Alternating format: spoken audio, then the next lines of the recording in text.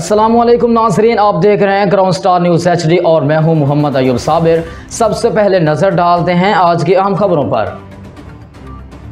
खैरपुर टामवाली से सैयद मुजम्मिल हुसैन शाह बुखारी की रिपोर्ट के मुताबिक असिस्टेंट कमिश्नर मोहम्मद अफजल खैरपुर टामवाली का अल सुबह सब्ज़ी मंडी का दौरा, जहाँ पर उन्होंने सब्ज़ी और फ्रूट की बोलियों के साथ साथ सब्ज़ी और फ्रूट की क्वालिटी को चेक किया और सब्ज़ी मंडी में सफ़ाई सुथराई को भी चेक किया। इस मौके पर सेक्रेटरी मार्केट कमेटी को सख्ती से हिदायत की कि बोली के मुताबिक रेट लिस्ट जारी की जाए और दुकानों पर रेट लिस्ट को आवेजा किया जाए और दुकानदार भी रेट लिस्ट के मुताबिक अशिया रोज फरोख्त करें, ऐसा ना करने वालों के खिलाफ सख्ती से निपटा जाएगा और कहा कि सब्ज़ी मंडी में प्याज की आमद को बढ़ाया जाए, जिससे प्याज रेट में कमी आएगी बादशाह मजबा खाना का विज़िट किया और वहाँ पर मौजूद गंदगी पर सख्त बरहमी का इजहार करते हुए म्यूनसिपल कमेटी के अमले को हिदायत की कि यहाँ पर सफ़ाई के निज़ाम को ठीक किया जाए। इस सिलसिले में कोई कोताही बर्दाश्त नहीं की जाएगी।